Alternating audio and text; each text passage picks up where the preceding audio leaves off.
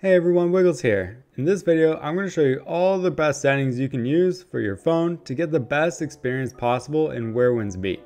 Most of these settings, if you're playing on like iOS or Android, are going to be in the main menu here. So open up the main menu and then you can see the cogwheel. In that cogwheel is the main settings and you pretty much just go to display right here and that tab will have all the options for performance. In the display tab, you'll notice that device load section, and if it's past that black bar, then it's definitely weighing down your device. So the way to fix that is to go down all the way and change the graphics quality from ultra all the way down to power saving. So obviously this will make everything look a little bit worse in the game. If your phone's able to handle ultra and you do like playing with better graphics, I highly suggest you just keep it on ultra or high or something like that but you are able to do custom because this will open up some other options. Out of all these things, the shadow quality is the main thing that's gonna bog down your device.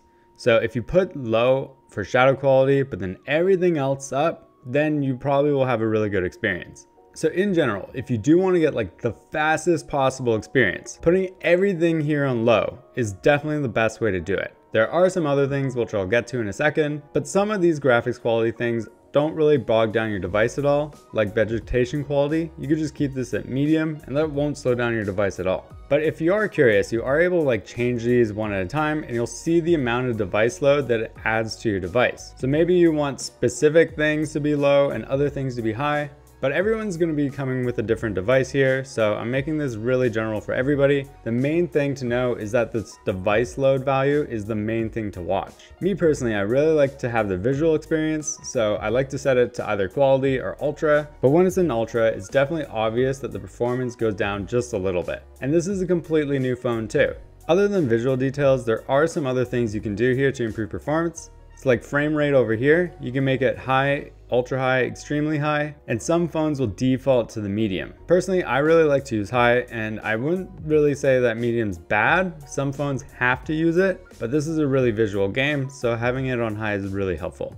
If you have the option for uncapped, I definitely wouldn't use that just because it could definitely overheat your device. Visual style is also a cool thing to change. It doesn't really change performance much, but it does change like the theme of everything. So defaults to where winds meet, and you are able to change it to things like intense, or warm, or cool, bright, stuff like that. When you scroll down just a little bit more, you'll see the performance center. And if you are having any issues, I highly suggest trying to just test this and go into enable for each of these. Do it one at a time, because this can really significantly improve your performance. Every phone's different though, so I wouldn't say everybody should do it right away, but these modes pretty much just dynamically lower graphics when it needs to. So this will make it a smoother experience while you play. If you change it to lock super performance, it will never let you go on to ultra or high or anything like that. Personally, I wouldn't do this unless you really have to, so you could always try that out if you really want to. So the lock performance can be helpful, but the problem with it is that you're not able to change other settings like TAA or any kind of quality change that you really want in the game.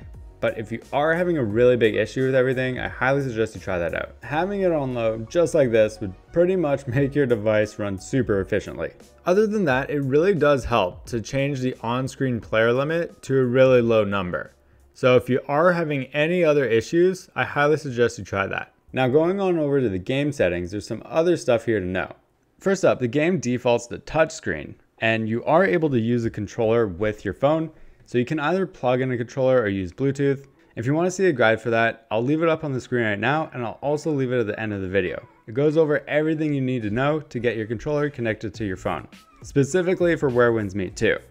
Everything in here is pretty much quality of life, so it won't really affect the performance as much. If you are a newer player, it definitely does like recommend you use assist deflection. This just really helps learn the game at the very start of the game. It pretty much will just give you a longer window to do a deflect. But personally, I like to keep it off even though I'm not the best at it yet, just so I can get better. And there's actually a lot more customizing in this too. So if you really want to change up the settings in the UI, you're able to do the main interface custom layout here. And this allows you to pretty much change everything you want. So you'll see that the UI, I can move around as much as I want. And there's just so many different options here. So like opacity and zoom. So if there is something in the UI that is really bugging you, you could always try this out. So other than in the game, there are some other settings you could do in your phone that will really improve performance. So if you have an iOS phone, the first thing you want to look for is in your settings, and then go to battery. You never want to be playing this game with low power mode on. The reason why is because it pretty much throttles your device so much, it intentionally turns down the performance in the game but I would highly suggest if the game is like taking a lot of battery on your device when you're not playing it, is to turn this back on.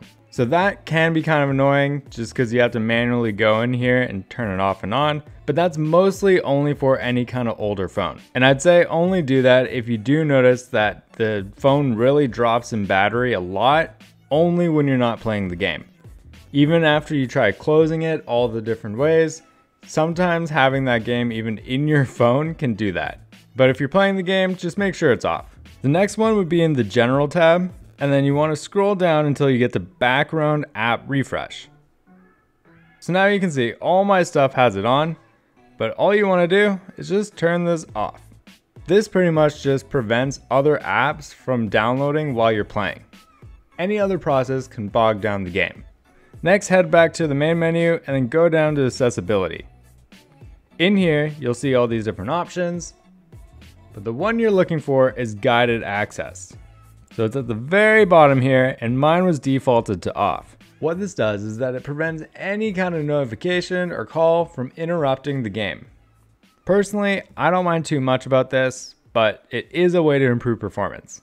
Lastly, if you do really care about the colors, you can go into display settings and make sure that true tone's turned off. This would just make sure that the colors are consistent with whatever kind of style you want to play with. So if you were playing like the warm version of Where Winds Meet on the mobile, and then you turn true tone on, it could definitely change all the different colors. So just know that. I don't have an Android here to really tell you everything on Android, but there's three major things you could check. So the first one is Game Booster. Sometimes it's called Game Turbo. All you'd have to do there is just enable priority mode or performance mode. Sometimes it's a refresh rate area and you can force 120 Hertz or high in your display settings. Just don't leave it on auto.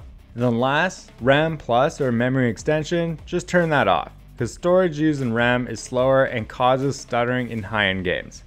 I love how great this game runs on the phone. It's really cool how you're able to play on your console, your PC, and your phone and keep all the progress together. A lot of games kind of force you to buy another title or just have completely separate progress. So it's really cool that Where Winds Meet isn't like that. Alright, that's it from me. I hope this video helped you out.